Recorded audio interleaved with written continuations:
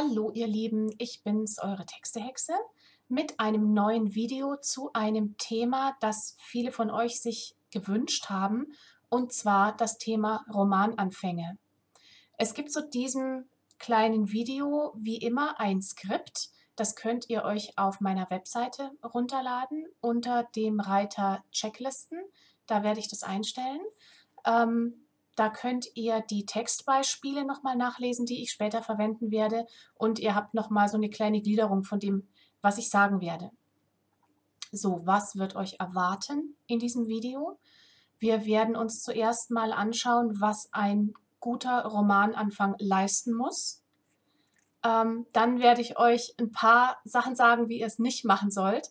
Ähm, entgegen meiner üblichen Gewohnheit. Normalerweise sage ich ja eher, wie ihr es machen sollt, aber in dem Fall lohnt es sich mal so die üblichen Fallen anzuschauen, in denen Autoren tappen, wenn sie ihren Anfang planen. Und dann gebe ich euch natürlich auch Anregungen, wie ihr in eure Geschichte reinfinden könnt und wie euer guter Romananfang ausschauen könnte. So, ich gucke einmal auf mein Skript und wir gehen direkt rein. Ähm, der Anfang eines Romans, das habe ich euch auch auf das äh, Skript nochmal draufgesetzt, der Anfang eines Romans ist ein Versprechen, das in der Folge unbedingt eingehalten werden muss. Also, der Anfang eures Romans, die ersten zwei Absätze, sollen stellvertretend für das stehen, was der Leser im Kern in eurem Roman zu erwarten hat. Das heißt, ihr einigt euch mit eurem Leser auf ein Setting. Im ersten Abschnitt muss klar werden, sind wir historisch, sind wir auf einem Raumschiff, ist es Fantasy, ähm, was, wo sind wir? Ihr einigt euch mit dem Leser auf eine Erzählstimme, auf einen Sprachgebrauch. Ähm, die Art und Weise, wie ihr eure Geschichte erzählt, muss am Anfang stellvertretend stehen für den ganzen Roman. Ganz einfach, damit der Leser nicht in die Irre geleitet wird. Ja, wenn euer Romananfang sich völlig anders liest, dann fängt er an das Lesen, denkt, wow, super, das kaufe ich mir. Und dann schwenkt es irgendwann und er denkt sich dann so, äh, so haben wir aber nicht gewettet. Das ist genau das, was ihr verhindern müsst. Ähm, und drittens, wir einigen uns am Anfang mit dem Leser darauf, wer die Hauptfigur ist. Es ist also sinnvoll, die Hauptfigur oder eine der Hauptfiguren direkt am Anfang ins Bild zu holen. Ganz einfach, weil der Leser das erwartet. Wir erwarten, wenn wir das Buch aufschlagen, dass es irgendwie wichtig anfängt. Und wichtig ist immer mit Hauptfiguren. Und wenn wir jetzt irgendeine völlig belanglose Nebenfigur am Anfang im Bild haben, dann werden wir als Leser die ganze Zeit warten, dass die wieder kommt, dass mit der was wichtig ist, dass mit der irgendwas passiert und so. Ähm, das könnte zum Beispiel durchaus auch ein, ein Gegenspieler sein, der einen teuflischen Plan ausheckt und wir sind am Anfang mal kurz dabei, dann ist der ja auch wichtig. Also es muss nicht unbedingt die Heldin sein oder der Held, es muss aber eine wichtige Figur sein, die ihr am Anfang ins Bild holt, einfach weil das die Erwartung des Lesers ist. So, also wir einigen uns am Anfang mit dem Leser auf ein Setting, auf einen Sprachgebrauch und auf die Hauptfigur. Das ist das, was der Leser am Anfang beim Reinlesen ähm, wissen will. Der will wissen, passt der Text zu mir, ist der was für mich? Und ihr müsst ja auch daran denken, dass diese ersten ein, zwei Seiten die Seiten sind, die ein Leser anliest, um zu gucken, ob das Buch ihm gefällt, ob er das haben will. Entweder bei Amazon in der Leseprobe oder auch in der Buchhandlung.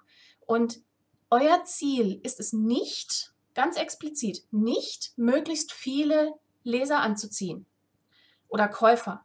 Euer Ziel ist es, die richtigen anzuziehen, die, denen euer Buch dann auch gefällt, die ihre Erwartungshaltung befriedigt bekommen. Und deswegen ist es am Anfang ganz wichtig, klar zu kommunizieren, was ist das für ein Buch.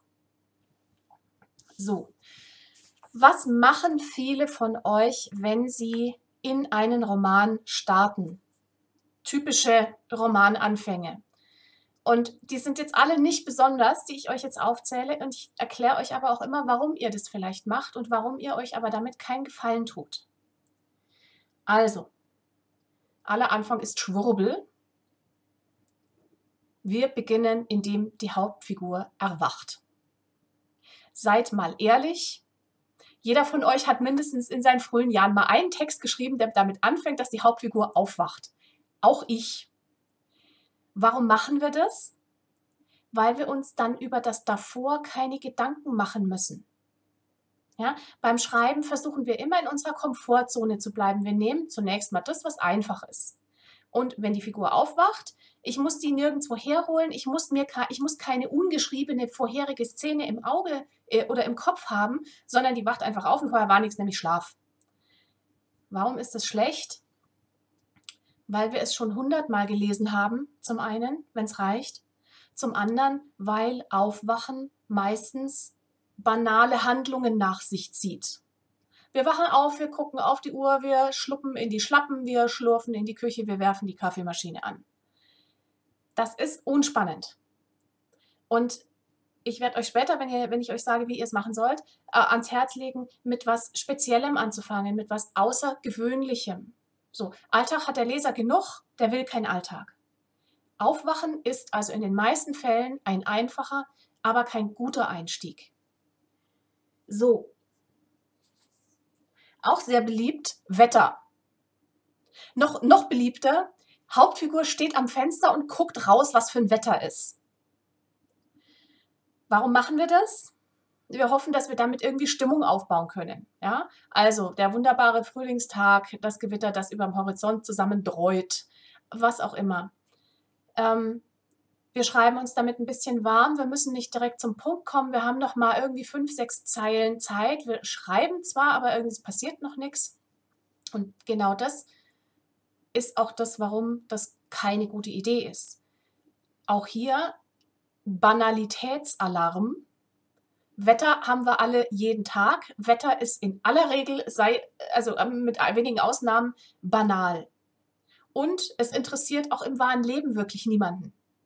Also, wenn ein Buch mit Wetter anfängt, hat es eine gute Chance, dass ich einen Sekundenschlaf kriege und es wieder zuklappe. So, ähm, zum Warmschreiben sage ich gleich noch was. Funktioniert auch mit Winterlandschaften, Warmschreiben. Na, egal. Ähm, Erklärungen. Lieber Leser, das ist Silke. Silke ist die neue Nachbarin von Klaus, dem Fliesenleger. Ähm, sie hatte eine schwere Kindheit. Ähm, ihre Mutter hat 40 äh, Stunden in der Woche gearbeitet, war alleinerziehend, bla bla bla. Silke hat keine gute Schulausbildung, hörsen, düssen, düssen. Interessiert mich als Leser nicht, weil ich nämlich Silke nicht kenne. Ich habe noch keine Minute mit Silke verbracht. Ich weiß nicht, wie Silke drauf ist. Ich weiß nicht, was die mir zu sagen hat. Und deswegen will ich auch ihre ganze Vorgeschichte nicht kennen.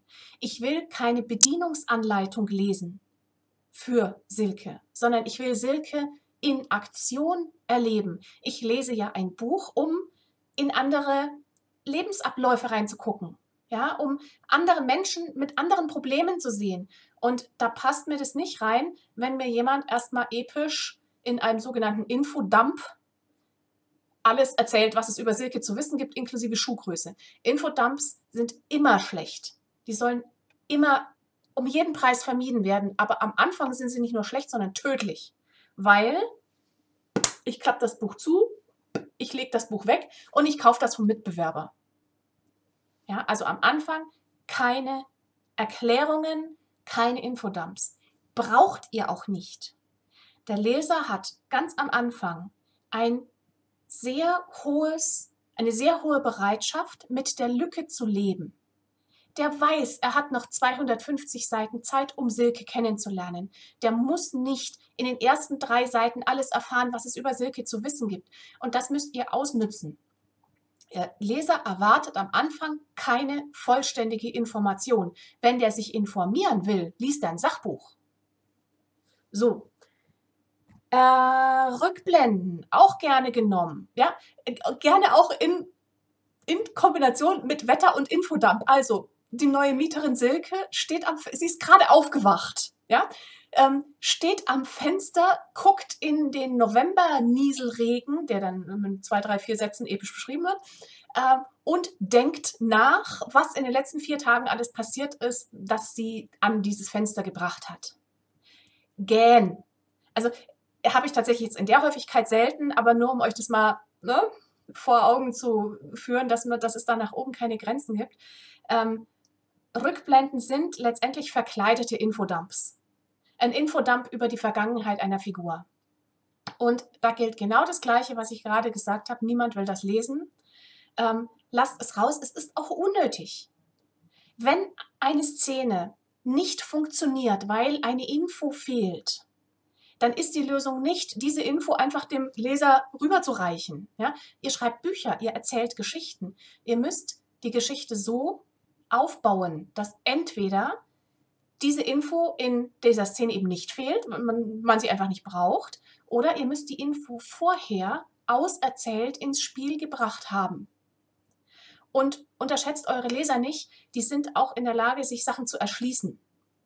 Also es geht auch hier nicht um eine lückenlose Aufklärung zum Thema Silke, sondern es geht darum, dass der Leser genug Informationen bekommt zu dem Zeitpunkt, wo er sie braucht, nicht vorher, um bestimmte Vorstellungen anzuschieben im Kopf. Ja, die Silke, die der Leser sich dann am Schluss vorgestellt hat, wird eine andere sein als die, die ihr in eurem Kopf habt. Aber damit müsst ihr leben. Äh, das ist das, was dem Leser Spaß macht. Ja, der Leser hat in aller Regel keinen Spaß dran, äh, eins zu eins die Silke nachzuvollziehen, wie sie in eurem Hirn rumspaziert, sondern der möchte sich seine eigene Silke bauen und die Gelegenheit müsst ihr ihm geben. So, äh, ein, ein letzter Punkt, der auch gerne genommen wird und wo sich die wenigsten Autoren damit den Gefallen tun, ist der Prolog wer mich kennt, weiß, dass ich eine Prologsperre habe. Ich, hab da, ich kriege da so einen Ganzkörper-Juckreiz, wenn ich einen Prolog lesen muss. Ähm, ein Prolog hat ein strukturelles Problem. Was ist ein Prolog? Gehört er jetzt zum Buch oder gehört er nicht dazu? Äh, wenn er wichtig ist, warum ist es nicht Kapitel 1? Wenn er unwichtig ist, warum ist er denn da? Warum muss ich ihn dann lesen? Also, Prologe sind in den seltensten Fällen wirklich nötig. Ähm, einen sinnvollen Prolog zu schreiben, ist eine Kunst, da kann ich mein eigenes Video drüber machen. Also Prologe sind, sind auch so ein Ding zum Warmschreiben. Ganz oft. Ähm, lass es weg. Versuch es ohne. Versuch da anzufangen, wo die Geschichte anfängt mit dem Erzählen. So, also Dinge, die auf den ersten Blick wie eine super Lösung klingen, auf den zweiten Blick euch aber keinen Gefallen tun. In der Reihenfolge. Figur wacht auf. Wir kriegen eine Vorstellungsrunde mit epischen Erklärungen. Wir gehen aufs Wetter ein. Wir haben eine Rückblende und wir haben einen Prolog. Das sind die Sachen, die ihr einfach vermeiden sollt. So, ähm, wenn ihr jetzt sowas geschrieben habt in eurem Roman und der ist noch nicht veröffentlicht, ist es nicht schlimm, schreibt es um. Die meisten Romananfänge in der ersten Fassung sind nicht die Romananfänge, die man später im gedruckten Buch liest. Weil wir alle müssen uns warm schreiben. Wir müssen mit unserem Stoff warm werden, wir müssen so unseren Erzählduktus finden, wir müssen auch gucken, wo fängt unsere Geschichte überhaupt an. Das ist ein ganz wichtiger Punkt. Ähm, ich fange da an zu erzählen, wo die Geschichte anfängt. Nicht vorher. Ich schreibe mich nicht warm. Also ja, ich schreibe mich warm, aber vor Veröffentlichung schmeiße ich das wieder raus. Ja, Warmschreiben ist völlig okay, solange ihr das nicht veröffentlicht. Sondern ähm, wenn ihr eure Geschichte besser kennt, dann wirklich gucken, wo fängt die Geschichte an. Und da fangt ihr an zu erzählen. So, ähm, jetzt sind wir in epischer Breite darauf eingegangen, was ihr nicht machen solltet oder was keine optimalen Romaneinstiege sind. Jetzt noch ein paar Anregungen, wie ihr anfangen könnt. Ähm, das wirklich Wichtigste habe ich euch gerade schon gesagt, ich sage es euch nochmal. Überlegt, wo eure Geschichte anfängt. Wo passiert das Erste, was relevant ist? Oder umgekehrt, was ist das Erste, was fehlen würde, wenn ich es rauslasse? Da fängt eure Geschichte an, nicht früher. Ihr braucht keine Einleitung, keine Hinführung, kein Warmwertgeschwurbel, das könnt ihr alles. Die Leute wollen eine Geschichte hören. Ihr seid angetreten, um sie zu erzählen und ihr fangt die Geschichte am Anfang an da wo sie anfängt. So, ähm, wie können wir interessant, dynamisch, äh, packend anfangen, sodass die ersten zwei Absätze äh, den Rest des Buches zwanghaft nach sich ziehen beim Lesen. Ähm, ihr könntet anfangen, je nachdem, was ihr schreibt, eignen sich die Ideen natürlich besser oder weniger gut, ähm, mit einer routinierten Alltagserwartung brechen. Ja, ihr baut eine alltägliche Situation und brecht die mit was Skurrilem. Was natürlich in irgendeiner Form dann später zur Handlung gehören muss. Es darf keinen Selbstzweck haben. Also, wenn Silke eines Morgens runterkommt und da steht ein Pony auf dem Hof.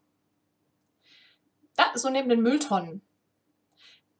Gesetzt den Fall, das Pony hätte später noch irgendwelche, irgendeinen Plotsinn, ja. Das wäre zum Beispiel ein skurriler, lustiger Einstieg, der dadurch, dass er so ungewöhnlich ist, das Leserinteresse weckt. Der Klassiker zu diesem Thema ist, ich habe jetzt leider den Text nicht da, sonst würde ich ihn vorlesen, ähm, die Verwandlung von Kafka. Ähm, na, Gregor Samsa wacht eines Morgens auf und ist ein Käfer. Damit fängt es an.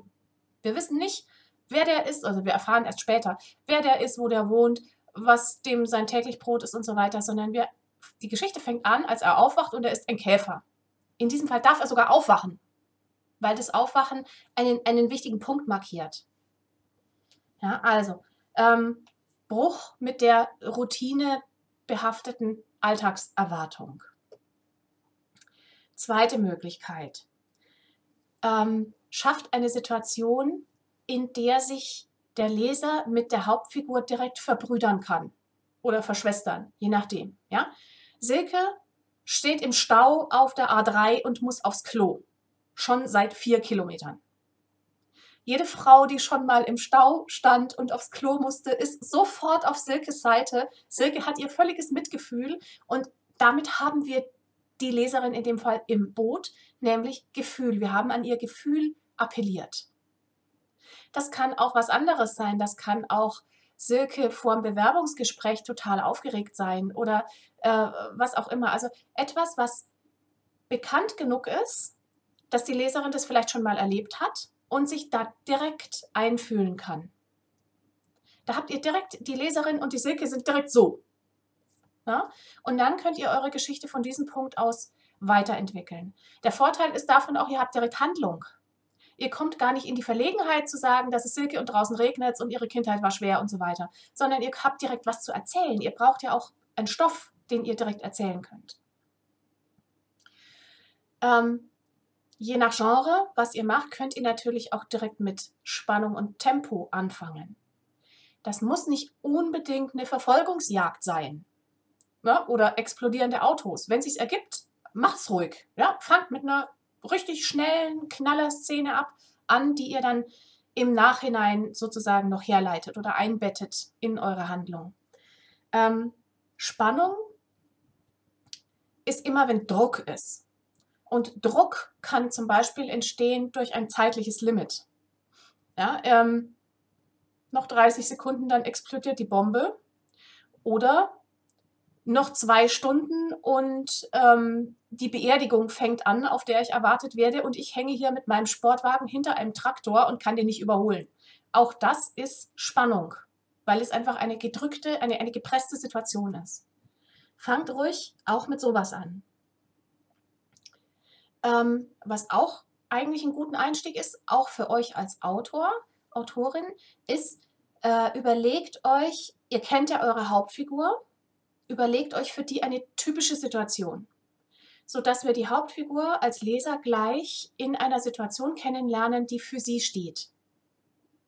Ja, ähm, Silke ist so eine äh, chaotische, unordentliche und wir lernen sie in der Situation kennen, in der sie abends erschöpft von der Arbeit heimkommt, einfach nur in ihre Wohnung will und feststellt, der Schlüssel steckt von innen. Ja, hier haben wir mehrere, also wir haben erstens Druck und Stress, wir haben zweitens die Leserin, die das vielleicht auch schon mal gemacht hat, sofort oh, mit Silke. Äh, und wir haben drittens die Silke als typische, ja, Ruschel, sagt der Franke. Also jemand, der so chaotisch un ungeordnet ist, vergesslich und so äh, charakterisiert. Ähm, das bietet aber auch direkt den Anspruch, dass wenn ihr den Charakter in der Situation zeigt, müsste die auch bitte typisch sein. Also, ähm, die Figur, wir dürfen den Leser da nicht auf, auf eine falsche Fährte führen. Also wenn die Silke ausnahmsweise diesmal den Schlüssel innen hat stecken lassen, muss es so rüberkommen. Dann muss uns klar sein, dass sie in einer Ausnahmesituation ist. Und dann wollen wir wissen wiederum, warum und dann fängt es an. Ja? Also, wie ihr anfangen könnt, ist, ihr brecht mit der routinierten Alltagserwartung, das war das Pony auf dem Hof, dann ihr macht die Leserin und die Hauptfigur so, das ist Silke im Stau und muss seit vier Kilometern aufs Klo. Ähm, dann Spannung, Tempo. Das kann die Bombe sein, die demnächst ähm, explodiert. Das kann aber auch der verpasste Termin sein, weil ich hinterm Traktor auf der Landstraße hänge. Ähm, und oder die Situation hat etwas Typisches für die handelnde Hauptfigur, sodass wir die gleich in ihrem ähm, natürlichen Lebensumfeld, zum Beispiel als ähm, Captain Chaotnik, kennenlernen. So, was habe ich noch? Ähm, genau, was ich auch wichtig finde, so als Gedanke ist, ein guter Romananfang wirft Fragen auf, er beantwortet keine. Damit sind wir wieder beim Thema, Thema Infodump, den wir nicht haben wollen. Ja? Fragen aufwerfen, nicht beantworten. So, diese Spannung löst ihr am besten auch nicht sofort wieder auf, ähm, sondern ihr zieht die ein bisschen hin und im Idealfall, wenn ihr eine Frage beantwortet habt im Laufe eures Romans oder einen Konflikt gelöst, dann kommt direkt der nächste. Damit das schön an der Spannungskurve entlang angeordnet den Leser durch den ganzen Text trägt. So, ähm, ich habe in diesem Skript euch Textstellen von verschiedenen Autoren, großen, kleinen, übersetzten, originaldeutschen, äh, aufgeführt und jeweils einen Kommentar drunter geschrieben. Das könnt ihr euch einfach mal äh, durchlesen und so eine gucken, ob ihr die Einschätzung teilt oder ob ihr das auch so seht, ob ihr das vielleicht anders seht. Ähm, wir machen noch ein kleines, ja, nennen wir es Gewinnspiel an dieser Stelle. Die ersten fünf, die mir ihre Romananfänge schicken, und zwar 1500 Zeichen, eine Normseite, kriegen von mir genauso eine Einschätzung, wie, sie, ähm, wie ich sie hier bei den veröffentlichten Kollegen drunter geschrieben habe. Also, wer darauf Lust hat, schickt mir in einer Mail, am besten nicht als Anhang, sondern direkt reinkopiert in den Mailtext quasi 1500 Zeichen Romananfang und ich schreibe ein paar Zeilen dazu. Die ersten fünf gewinnen, der Rest, ähm, für den Rest überlege ich mir was. So, das war's in aller Kürze von dieser Stelle. Ich hoffe, es hat euch ein bisschen was gebracht. Eure Fragen sind beantwortet. Wenn ihr noch Fragen habt, in die Kommentare damit. Ähm, ich verlinke euch auch meine Webseite, wo ihr euch das Skript runterladen könnt. Und äh, ja, alles andere fällt mir dann ein, wenn ich hier auf Stopp geklickt habe. Das ist ja immer so. Und ich wünsche euch noch ein wunderschönes Sommerloch und bis bald.